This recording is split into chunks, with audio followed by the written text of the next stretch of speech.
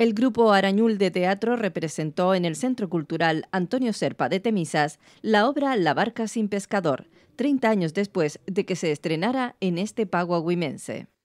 La obra de teatro La barca sin pescador de Alejandro Casona está dirigida por Miguel Jiménez y en ella participan como actores y actrices Alberto García, Lorena Alemán, Roberto Pérez, Pepe Alemán, Virginia Lozano, Mario Villanueva, Ángela Alemán, Alicia Llorente e Iraida Martel.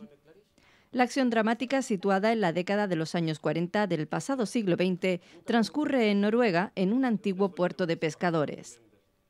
El personaje central, Ricardo Jordán, va cambiando drásticamente de personalidad y carácter a medida que la historia avanza. Todo comienza cuando decide hacer un pacto con el diablo para obtener mucho dinero a cambio de matar a alguien extraño y de algún lugar lejano.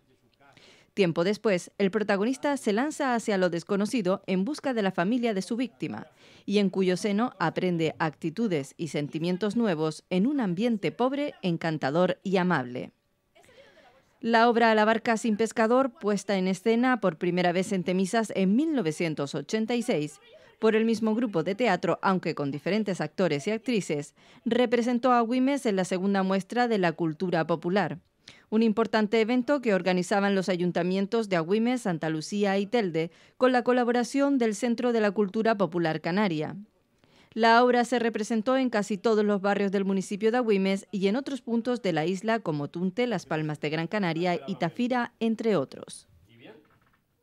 ¿Pueden saber a qué han venido? ¿Todos heroicamente a ayudar al vencedor? Yo siempre tuve fe en usted. Solo tratamos de aconsejarle.